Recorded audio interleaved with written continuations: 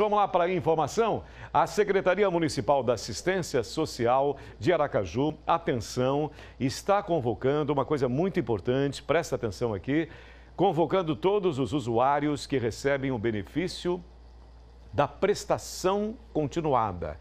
É o BCP, Benefício de Prestação Continuada da Lei Orgânica da Assistência Social, para que compareçam em um dos 16 centros de referência da assistência social, para que realizem a atualização do cadastro, os dados cadastrais ou até fazer a inscrição para ter esse benefício.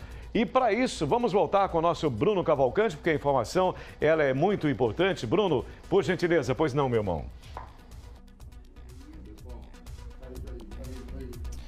Oi, Sérgio, bom dia mais uma vez. Estamos de volta para falar desse benefício, como você mesmo disse, é o benefício de prestação continuada, onde esse benefício, Sérgio, é voltado para dois públicos específicos, os idosos e as pessoas com deficiência.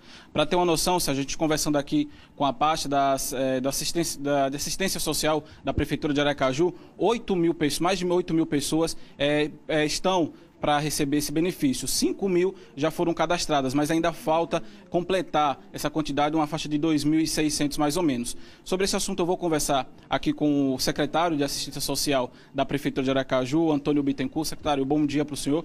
É um benefício que ajuda bastante na vida né, dessas pessoas, dos idosos e de pessoas com deficiência, mas que ainda precisa ter esse cadastro. Né? É, bom dia, bom dia Sérgio, bom dia a todos que estão me ouvindo. É aproximadamente 20, são aproximadamente 20 mil pessoas que são beneficiadas em Aracaju em torno de 20 milhões de reais é, é depositado anualmente com esses benefícios. É, e a gente está fazendo um, um, processo de recadastramento, uma demanda apresentada pelo governo federal, que iniciou o final do ano passado, iníciozinho desse ano, e que vai até dezembro desse ano agora.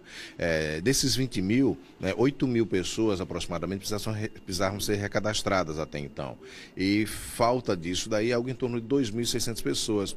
Nós pedimos que essas pessoas se dirijam ao CRAS mais próximo da sua residência, faça lá o seu cadastramento cadastramento, porque caso não haja esse cadastramento, é, pode incorrer na possibilidade de perder o benefício. É, secretário, quais são esses benefícios que são oferecidos para esses dois grupos? Olha, nesse caso em particular é um salário mínimo, né? Que é, que é a, a pessoas acima de 65 anos e pessoas com deficiência que estejam em estado de vulnerabilidade social, ou seja, que a família é, tem uma renda é, até um quarto do salário mínimo. Essas pessoas se cadastram lá no, no no CRAS da, próximo à sua residência e, e, fazem um agendamento no INSS. Uma série de condicionantes, uma série de critérios são analisados para que eles possam ter acesso a esse benefício. Repito, em Aracaju, aproximadamente 20 mil pessoas e essas pessoas precisam fazer o recadastramento. Uma dificuldade também que vocês estão encontrando, as pessoas que fazem o cadastro, Sérgio, é, colocaram o endereço, mas depois, com o decorrer do tempo, mudaram né, o endereço e não, faz, e não realizaram essa mudança. E isso também tem que chamar a atenção, né, secretário? Exatamente. Algumas pessoas fizeram cadastro já tem um ano um ano ou mais, é, modificaram o endereço não retornaram lá no CRAS para fazer a atualização desse cadastro. Portanto, nós temos dificuldades nesse, nesse contato.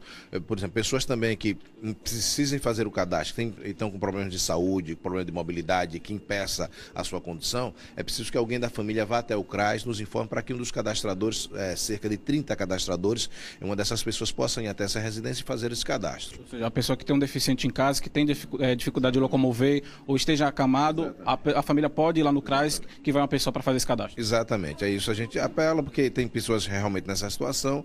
Agora, nós precisamos saber quem são essas pessoas, onde estão essas pessoas. Portanto, é preciso que um dos parentes vá até o CRAS, em que essa pessoa está tá cadastrada, para que a gente possa é, cuidar dessa demanda. Um dos cadastradores, repito, nós temos algo, é, 30 cadastradores, que ele possa ir na residência dessa pessoa e efetuar o cadastro. Também tem que ficar ligado no prazo, né, secretário? Porque pode perder esse benefício decorrente ao mês de aniversário. Queria que o senhor explicasse sobre isso. Certo. Meramente por organização, nós colocamos que a pessoa deveria ir e informamos né, nas redes sociais, informamos em carros de sons na comunidade, é, para que as pessoas fossem, meramente por organização, no mês do seu aniversário.